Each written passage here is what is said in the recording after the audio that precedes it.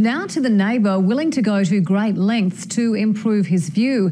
In a bitter dispute, he's been caught on camera hacking off next door's trees with a chainsaw.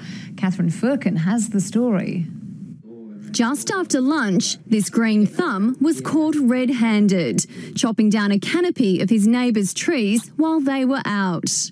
On viewing the CCTV footage, uh, realised that the neighbour had climbed over the back fence with a chainsaw and, and ladder and, uh, and had a fair crack. The chainsaw wielding neighbour first appeared on security cameras at the Malley family's front door, appearing to check if anyone was home. He then began his eager pruning of the family's treasured garden. And there's a couple of gums up the back and some shrubs and, and, and bushes um, that have been destroyed or, or hacked back. I'm not sure they're, they're going to they're going to grow again. The family say the neighbour is Dr. Mark Colson, a former Geelong Hospital employee. It was quite disturbing that the, that someone, without um, consulting you on these matters, would would have such a sense of entitlement to, to come onto your, your property and, and do that. The accusations have led to a police investigation. The Malley family say while the trees are irreplaceable, the damage to their garden is well into the hundreds. They've also lost any of the privacy they had here and want to be compensated.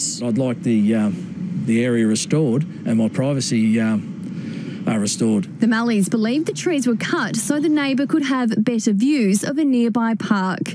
Dr. Colson didn't return our calls today. It has been reported that he said he knows nothing about the incident. Katherine Firkin, 10 Eyewitness News.